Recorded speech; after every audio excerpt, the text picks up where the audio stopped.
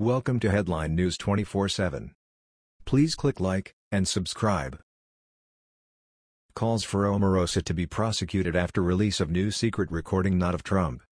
In an utterly classless move that fans of The Apprentice learned to expect from the likes of Omarosa Manigault Newman, the former White House aide appeared on NBC's Meet the Press with Chuck Todd. While peddling her new book, Unhinged, she released a secret recording of White House Chief of Staff John Kelly firing her, citing integrity issues. The release of this recording came just two days after Manigault Newman was caught in a blatant lie about whether she heard President Trump the N-word. Omarosa was abruptly fired in December from her position as Director of Communications for the Office of Public Liaison. The Wall Street Journal reported that upon her firing, Manigault Newman had to be physically dragged and escorted off the campus.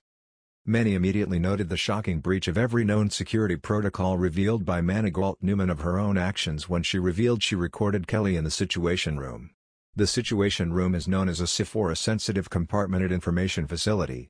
This is a room in which all personnel is supposed to be required to surrender any and all recording, photographic and any other electronic media devices. As noted by NBC News Tash.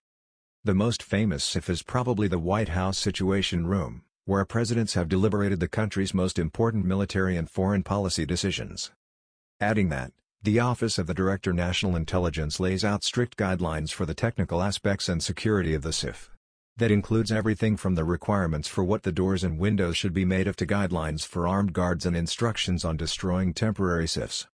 Every effort should be made to minimize or eliminate windows in the SCIF, especially on the ground floor, the manual reads. The facility must also provide acoustic protection. If soundproof walling is not an option, the DNI says speakers can be used to distribute noise to mask the conversations inside the SCIF. Former White House Press Secretary Sean Spicer referred to Manigault Newman's taping as a massive violation of every security protocol.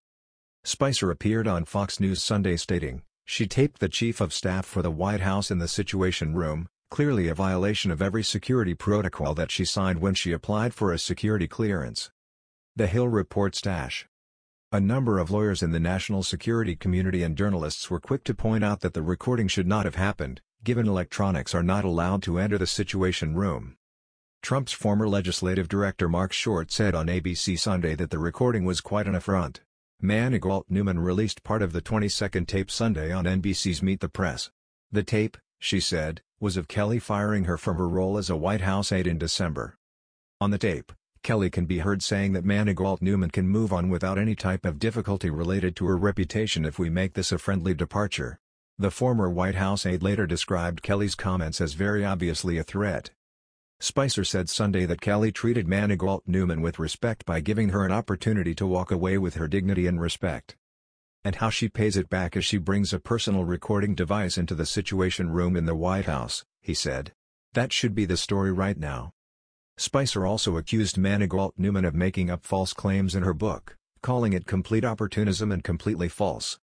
Manigault Newman began her book tour this week for Unhinged, an insider account of the Trump White House, amid a flurry of explosive claims about her time in the White House. In her book, Manigault Newman writes that Kelly fired her when he knew she was close to getting the audio of Trump using a racial slur. President Trump on Saturday referred to Manigault Newman as a lowlife following a number of other incendiary claims stemming from the book. White House staff also slammed the former aide as a disgruntled former White House employee who is trying to profit off of these false attacks. Adding even further insult, Manigault Newman stated on Monday that she absolutely has more tapes but claims she does not know when she will release them. The Hill reports, she said she is holding off on releasing them for now because she believes the White House could take legal action against her. They've been threatening legal action, she said on NBC's Velshi and Ruhle, apparently referring to the White House. They're trying to figure out how to stop me. They're trying to penalize me because I would not accept the $15,000 a month deal that they offered me for the fake job on the Trump campaign. So I'm expecting that they're going to retaliate, she continued.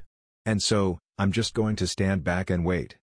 Many are already calling for Manigault Newman to be thrown in jail. Alana Mastrangelo noted on Twitter, so I guess leftists are right about one thing, an official from the Trump White House could actually go to jail, Omarosa, for violating White House security protocol. Others wonder just exactly what else Manigault Newman recorded without the knowledge of the Trump administration. One thing is abundantly clear as the American people clamor ever louder to lock her up. The Trump administration is well rid of Manigault Newman and the potential threat to national security that she clearly poses. That was the news. We thought you might be interested in knowing about this. Please click like and subscribe. Thank you.